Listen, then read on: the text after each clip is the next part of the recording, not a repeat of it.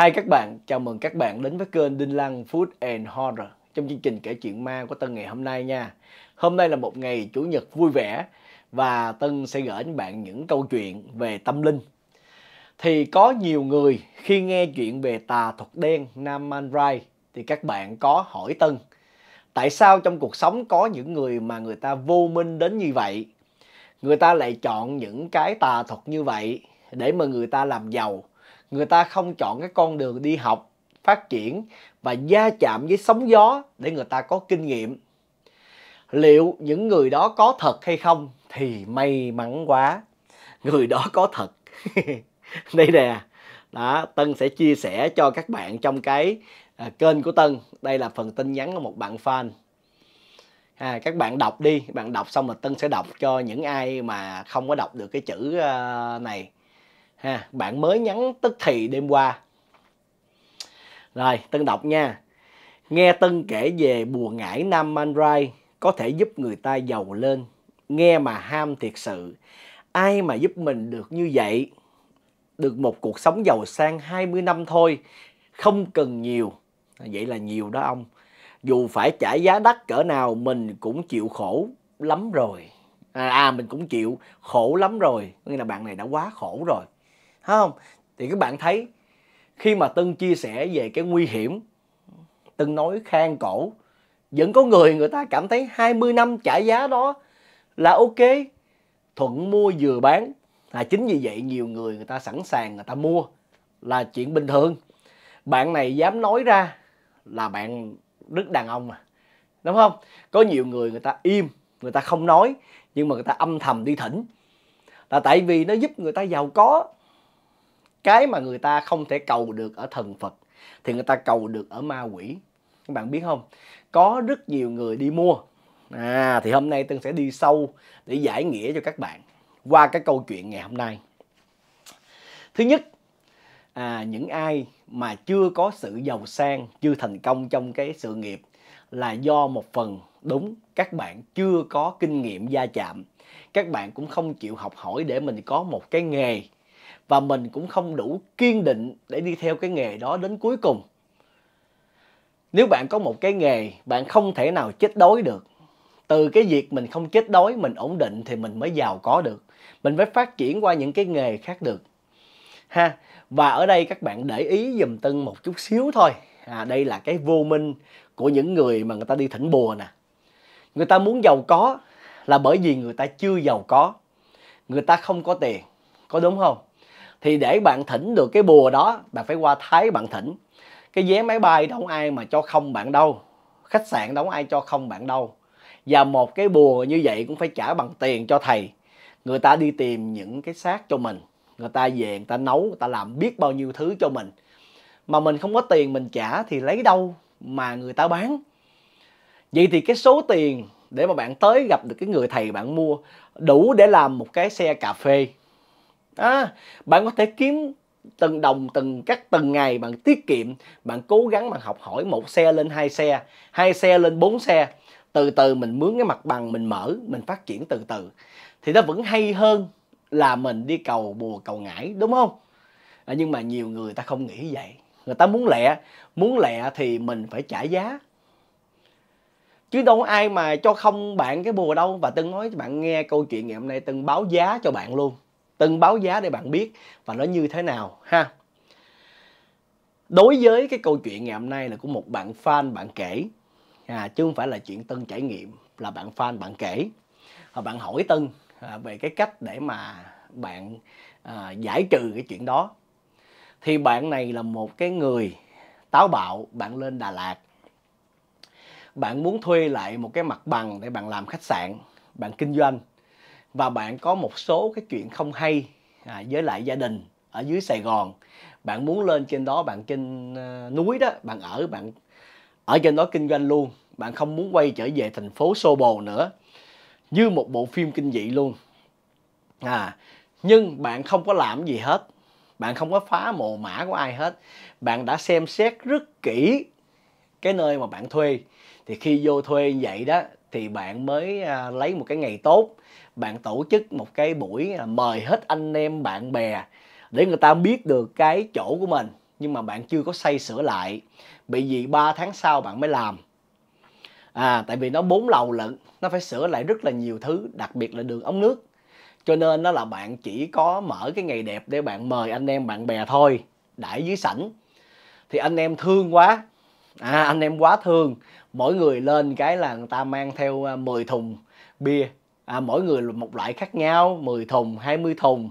Có người hai thùng có người ba thùng người bốn thùng người rượu người này người nọ. Lên thì sau cái buổi tiệc đó tổng kết lại thì còn 105 thùng. Trời đất ơi giống như cái đại lý. Thì ở trên tầng cuối cùng tầng 4 là người ta làm máy ta che ra bên ngoài nó giống như cái nhà kho. Nó là cái nơi mình giặt đồ giặt ra giặt ráp đồng thời là một cái nhà kho để đồ thì bạn lấy, bạn để những cái thùng đó, thùng bia. Thì bạn mới ngồi bạn tính với hai người em là 105 thùng đó. Tụi mình sẽ đi rải ra hết các phòng để vô cái à, tủ lạnh mini cho khách. Còn lại mình đem ra tiệm tạp hóa, mình đổi. Mình đổi nó thành nước ngọt, nước suối, phải không? Rồi bánh kẹo. Mình để vô cái à, tủ lạnh mini để khi mà mình khai trương thì mọi người tới đó là người ta bắt đầu là người ta vô người ta có cái ta sử dụng. À, mình quy cái đó ra tiền kinh doanh mà. Cái đó là điều rất là ok không sao hết. Thì bạn với hai đứa em hôm sau đó kiểm xong hết rồi khóa cửa lại hết rồi. Chỗ đó gắn camera nhưng riêng cái nhà kho thì không có gắn. À tại vì ở đó chỉ có ba anh em thôi mà bạn đó với hai người em cũng thân. Mới về nhà một người quen tắm rửa tới không ngủ ở đó ở đó là điện nước nó chưa có ok 3 tháng sau mới làm. Thì khi về nhà người quen ngủ chiều á, nhậu ở nhà người quen thì cũng không có hay lắm.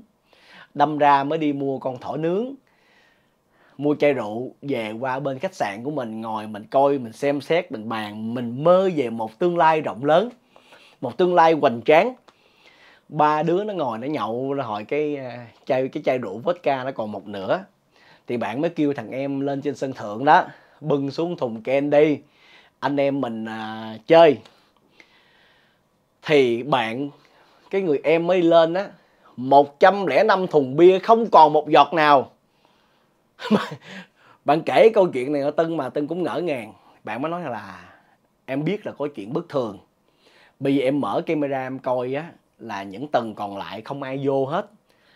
Và thật sự những người chòm sớm xung quanh không có cái nhà nào mà nó cao bằng nhà em mà không có ai có thể leo vô những cái lưới B40 bọc xung quanh để mà lấy bia hết. Mà lấy bia thì người ta mang một cái thùng bia về với mắt cái đông mà người ta uống một lần 105 thùng biết bao nhiêu lon bạn. Bạn tính bạn nhân lên tân coi coi. Mà uống một lần không còn gì chỉ còn bán dây chai thôi bán lon thôi. Thì bạn nghĩ là ở đây có chuyện có vấn đề. À, bạn gọi là ma thùng bia. Thì lúc đó đó là khi mà sự việc nó xảy ra như vậy á, thì bạn mới à, liều mạng. Bạn mua một cái chai rượu với lại cặp đèn cày nhang đèn. Bạn lên trên đó với hai đứa em à, bạn mới cúng với miếng thịt quay bạn cúng bạn rót ra ly. Thì bạn mới nói nếu như thật sự ở đây có người âm á thì cho tôi hay à, xuống dùng bia với rượu cho tôi thấy à, để mà tôi à, tính toán tôi bỏ tôi đi.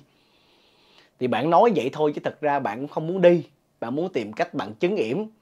À, nhưng không ngờ là ba chung rượu nó hết thiệt bạn và cái miếng thịt heo á ở giữa nó bắt đầu nó nó loan cái cái cái cái cái thiêu á cái màu xanh xanh riêu riêu nhớt nhớt ra. Và bắt đầu họ nghe tiếng ta nói chuyện tiếng cười. Thì lúc này là bạn với hai đứa em sợ lắm rồi. À, họ mới đóng cửa. Thì họ đi tìm hiểu những nhà xung quanh là tại sao lại như vậy thì họ tìm hiểu rồi họ cũng kể sự thật thì những nhà xung quanh ta nói là không có nhà này không có ma. Còn nếu trên lầu có ai mất hay không trước đây có ai mất hay không thì họ cũng không biết. Hay là chồm sớm ta cũng không biết. Nhưng mà chắc chắn là có à, bạn gọi đó là ma thùng bia. Thì lúc này bạn thấy không ổn rồi. À bây giờ là mình còn 3 tháng nữa là mình mới xây dựng. Thì trong 3 tháng đó bạn mới tìm hiểu về bùa thuật Thái Lan thì khi tìm hiểu về bùa thuật Thái Lan á, thì bạn biết đến một loại bùa. À, nó tên là Hun Phay Yong. Hun Phay Yong là một cái bùa mà người Việt mình á, có thể nói rằng là gọi là bùa hình nhân. Nhưng mà bùa hình nhân của mình ở đây á là để mình yểm người khác. Ví dụ như mình cầm cây kim mình chích vô đầu cái người ta nhức tay mà mình nhích tích vô tay cái người ta nhức đầu. Ví dụ vậy. Nó dẫn chơi bạn biết á là cái bùa hình nhân. Nhưng mà hun phay Yong của người thái nó có sự khác biệt. Nó có cái à, công dụng là bảo vệ nhà cửa bảo vệ vật chất tài sản và nó giống như là công dụng một con ma só của Việt Nam hơn là một cái bùa hình nhân thế mạng hay là hình nhân thư ếm. Và Hun Fei Yon á nó có tác dụng chống lại tà thuật đen và nó chống lại các loại tà ma ở trong cái căn nhà đó à cho nên là bạn cảm thấy phù hợp và bạn mới đi thỉnh về. Thì cái giá thỉnh một cái Hun phai Yon an lành thì được gọi là 32 triệu cho một lần thỉnh. À thì người ta mới nói với bạn là cái hun phai yon này á, là được làm bằng tre và có hình một cái người lính cầm giáo. Chỉ cần đem về mình thắp nhang. Một lần mà mình cầu được cái gì á thì mình hãy hồi hướng cái phước đó về cho hun phai yon mình không có cần phải cúng ờ, nước ngọt hay bánh hay là ờ, thịt thà hay là thịt sống hay máu gì hết, cho nên nó an lành. Đó là lời những người thầy người ta nói, thì bạn mới thỉnh về. Thì khi thỉnh về, đem về để trên đó các bạn. Hai dòng hồn đánh nhau. Tại vì hun phay yon cũng là tà thuật đen. Đó là quy tắc gì biết không? Muốn chống lại một thế lực, bạn phải là một thế lực muốn chống lại ma quỷ thì cái người bạn thỉnh là ma quỷ. Ma quỷ đánh ma quỷ.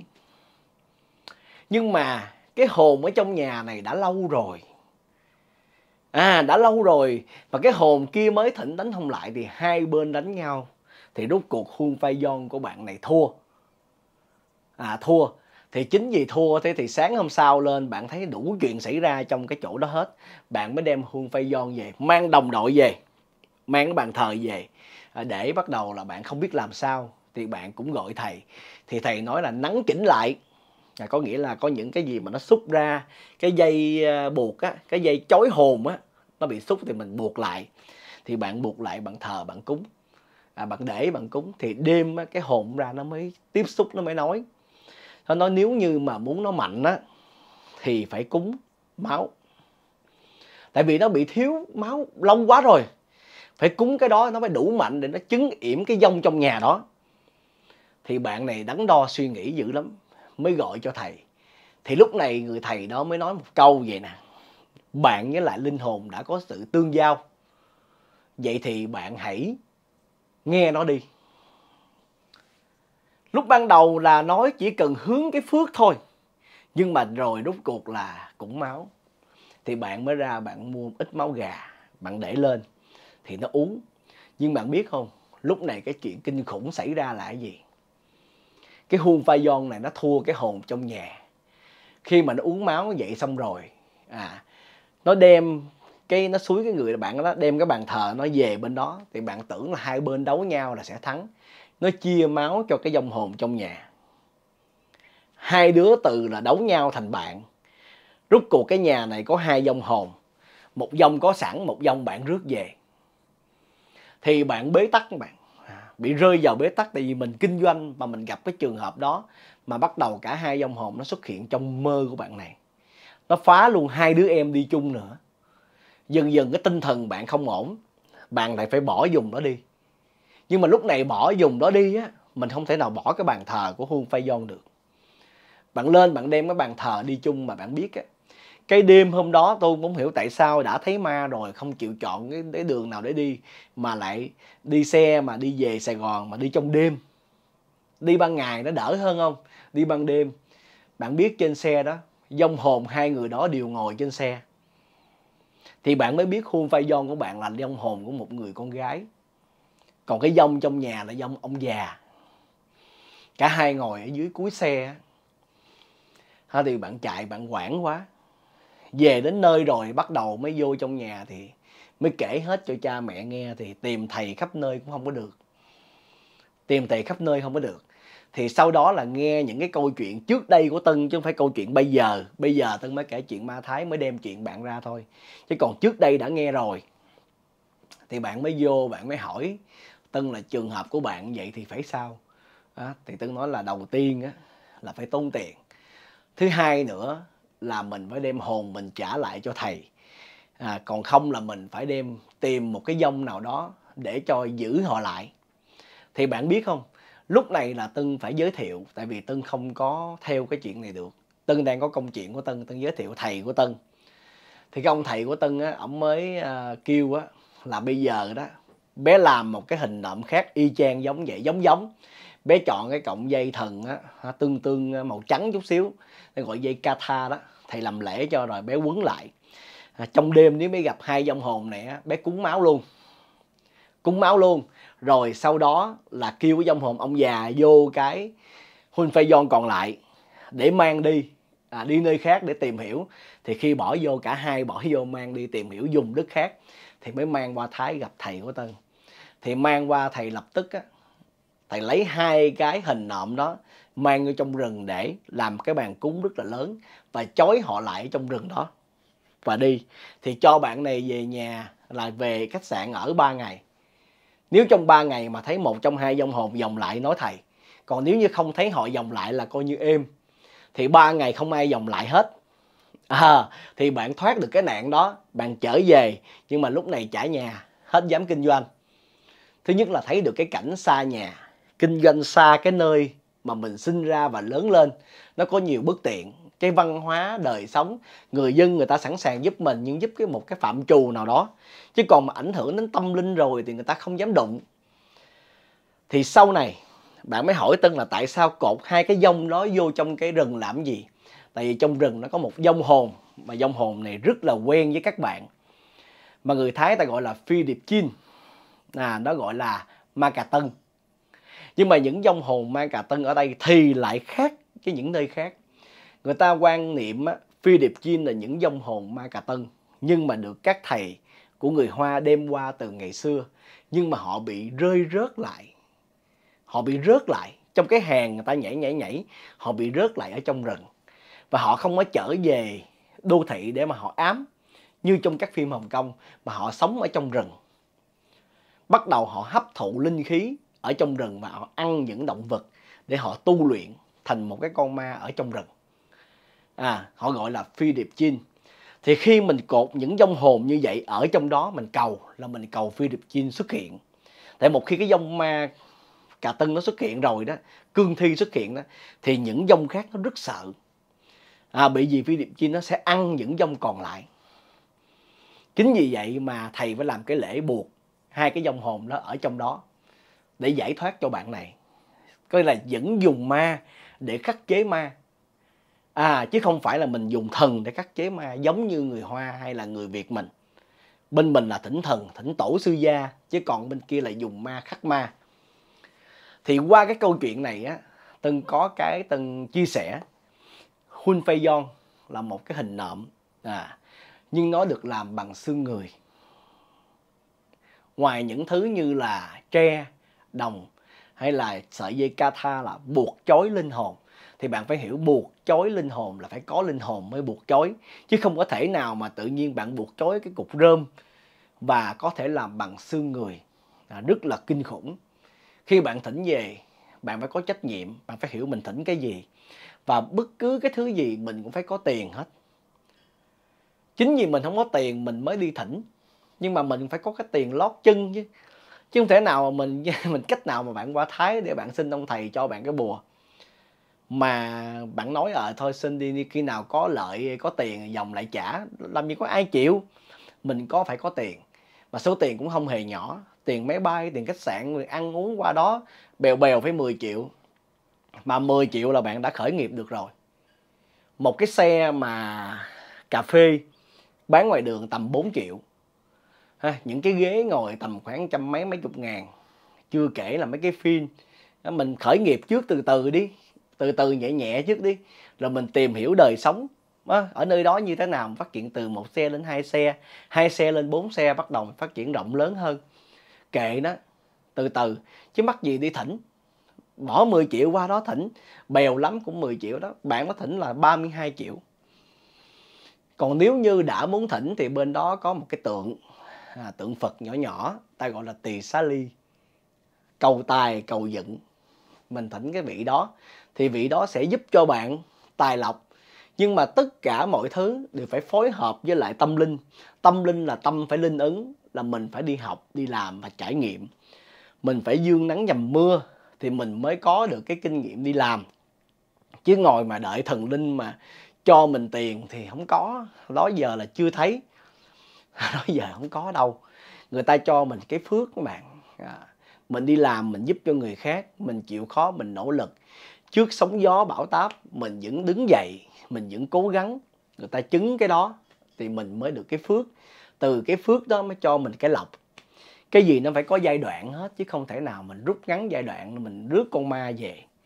Rước ma cũng phải có tiền. Thì Tân khuyên cái bạn mà mới nhắn tin cho Tân đó 20 năm là quá nhiều không phải ma nào nó cũng thương lượng với bạn 20 năm đâu. 20 năm là tại vì Tân nói chuyện Tân nó Tân đem cái cái cái cái lý lẽ của con người mình á Tân nói để các bạn hiểu thôi. Chứ thật ra hai ba năm là nó đòi cái mạng bạn rồi. À, thứ nhất. Thứ hai cái tiền đó là đồng tiền phi nghĩa. Đồng tiền nó không có thật. Và cũng đừng có những cái suy nghĩ trong làm ăn là mình coi những cái chương trình mình mình thấy người ta kiếm tiền tỷ tiền tỷ mình tưởng đó là sự thật. Không có đâu bạn một doanh nghiệp một ngày á người ta kiếm cũng vừa vừa thôi. Trừ những doanh nghiệp lớn á, thì người ta toàn là vay ngân hàng không à. Người ta lấy đầu này đắp đầu kia.